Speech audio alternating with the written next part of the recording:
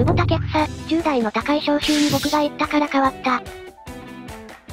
6月シリーズで久保は僕の次の世代の若手も、日本代表が強くなりたかったら、積極的に使っていくべきだと思いますと持論を述べていた。9月シリーズでは19歳本日9月4日に20歳の誕生日の高谷22歳の望月らが初招集されたがなんかタイミング的に僕が言ったから変わったみたいな感じもあるかもあらと切り出し意見が通るんだったら、いろんなことを言っていこうかななんて思ったりもしましたねと、記者の笑いを誘った。でも、冗談は置いておいて、いい選手だから入っていると思います。2日ぐらいしか一緒に練習していないですけど、2人ともすごくいい特徴を持っている選手だと思うので、あとは彼らをどう生かすか、彼らが入った時に僕らが彼らの能力をいかに代表に還元していくかというのも大事と、見解を示している。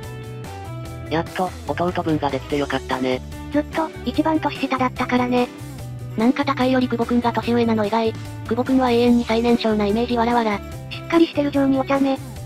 高い、ジェイス・アンリ、関根、望月ヘンリーと高さがあるディフェンダーが出てきてくれて嬉しいね。ヘンリー、空中戦は攻守で得意。特に右は伊東純也や久保だから彼らの頭上をその高さでカバーできる。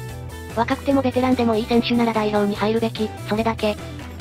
高井幸宏も経験不足は承知の上で2年を見据えて、どっちも192センチと海外の選手と渡り合える体格に目をつけたんじゃない？高身長は日本代表が抱えてるセットプレイ問題も解決できるかもだし。久保と望月ヘンリーは同じ学年。そう考えると、早くからヨーロッパで活躍して、かつ早熟で終わらない久保の凄さが際立つ。